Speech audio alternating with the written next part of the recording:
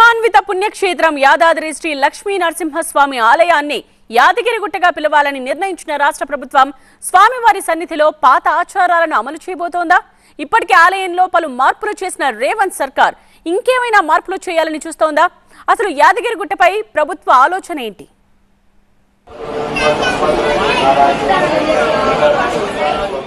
తెలంగాణ ప్రజల ఇలవేల్పు భక్తుల కోరికలు తీర్చే శ్రీ లక్ష్మీ నరసింహస్వామి ప్రజల చేత యాదగిరి నరసన్నగా విరాజిల్లుతున్నాడు.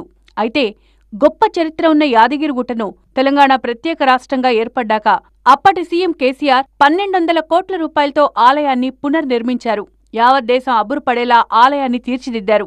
రెండు వేల పదహారు నుంచి ఐదేళ్ళపాటు శ్రమించి యాదగిరిగుట్టను సర్వాంగ సుందరంగా మార్చారు. అంతేకాదు యాదగిరిగుట్ట పేరును యాదాద్రిగా మారుస్తూ భక్తులకు దర్శనం కల్పించారు. ఇక ప్రధాన ఆలయం పునర్నిర్మాణానికి ముందు వరకు ఉన్న ఆచారాలను అప్పట్లో తొలగించారు. భక్తులు కొండపై బస చేయడం కొబ్బరికాయలు కొట్టడం తలనీలాలు సమర్పించడం పుష్కరిణిలో స్నానం చేసి మొక్కులు తీర్చుకోవడం వంటి సాంప్రదాయాల్ని తొలగించారు. గుట్టపై పలు వాహనాల రాకపోకలపైన పలు ఆంక్షలు విధించారు. ఇక రాష్ట్రంలో కొత్తగా ఏర్పడిన కాంగ్రెస్ ప్రభుత్వం ఆలయం అభివృద్ధితో పాటు భక్తుల సౌకర్యార్థం పలు నిర్ణయాలు తీసుకుంటోంది. పాత ఆచార సంప్రదాయాలను మళ్ళీ అమలు చేసేందుకు సిద్ధమైంది. ఇప్పటికే యాదాద్రిని యాదగిరిగుట్టగా పిలవాలన్న రేవంత్ సర్కార్ ఆలయంలో మరిన్ని మార్పులు చేర్పులు చేసేందుకు రెడీగా ఉన్నట్లు తెలుస్తోంది. కాంగ్రెస్ ప్రభుత్వం ఇప్పటికే భక్తులకు డ్రెస్ కోడ్ను తప్పనిసరి చేసింది.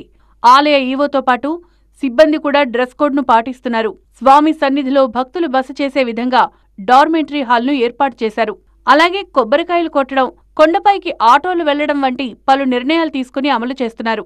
అంతేకాదు స్వామివారి క్షేత్రాన్ని పరిశుభ్రంగా ఉంచేందుకు ఇటీవలే ప్లాస్టిక్ వాడకాన్ని కూడా నిషేధించారు. అలాగే ఏళ్ళుగా వస్తున్న గిరి ప్రదక్షిణ సంప్రదాయాన్ని మళ్ళీ అందుబాటులోకి తెచ్చారు. ఈ గుడి పునరుద్ధరణ కార్యక్రమంలో దాన్ని నిలివేశారు మళ్ళీ ఇప్పుడు పుష్కరిణి ఉంది. పుష్కరిణిలో నీళ్ళు నింపితే సరిపోతుంది. యాక్చువల్లీ వాడకపోయినా కానీ అది వాడకపోతే ఇంకా వేరే వేరే పనులు ఉపయోగిస్తున్నారు? అంత దూరం ఉండటం వల్ల. అది కూడా ఇబ్బందికరంగానే ఉంది. దాన్ని అన్నింటినీ కూడా ఇప్పుడు మొత్తం పరిశుభ్రం చేసేసాం. ఇక తాజాగా ఆలయ సన్నిధిలోని విష్ణు పుష్కరిణిలో సంకల్ప స్నానానికి అనుమతించారు. కొండపైకి ఆటోలు నడవడం ద్వారా గత వైభవంగా అంటే భక్తులకు అందుబాటులో రవాణా సౌకర్యం రావడం జరిగింది. అదేవిధంగా మొక్కులు చెల్లించుకునే కొబ్బరికాయలు కొట్టే ఆనవాయితీ కూడా తిరిగి పునర పునర ఇవ్వడం జరిగింది. డార్మెంటల ద్వారా కొండపైన నిద్ర చేసే అవకాశం ఉంది. ఇప్పుడు నువ్వు కొత్తగా మళ్ళీ పుణ్యస్నానాలు ఆచరించడానికి కొండపైన పుష్కరిణిలో నీళ్ళు ఏర్పాటు చేసి వచ్చిన భక్తులు నీళ్ళు చల్లుకొని అదేవిధంగా స్నానాలు పుణ్యస్నానాలు చేసుకోవడానికి అవకాశం కల్పిస్తున్నారు. అంటే గతంలో ఏ ఏ విధంగా అయితే ఉన్నదో ఆ విధంగా పునర్వైభవాన్ని తీసుకురావడం జరుగుతుంది. ఇక కొండపై పాత ఆచార సంప్రదాయాలను పునరుద్ధరించడం పట్ల భక్తులు సంతోషం వ్యక్తం చేస్తున్నారు. మొత్తంగా ప్రభుత్వాలు మారడంతో యాదగిరిగుట్టపై ఆచారాలు సాంప్రదాయాలు భక్తుల సౌకర్యాల కల్పనలోనూ మార్పులొస్తున్నాయి. ఇక ఇప్పటికే పలు నిర్ణయాలు తీసుకుని అమలు చేస్తున్న కాంగ్రెస్ ప్రభుత్వం భక్తుల సౌకర్యార్థం మరికొన్ని నిర్ణయాలు తీసుకోనున్నట్లు తెలుస్తోంది. మరి చూడాలి ఎలాంటి నిర్ణయాలు తీసుకుంటారో.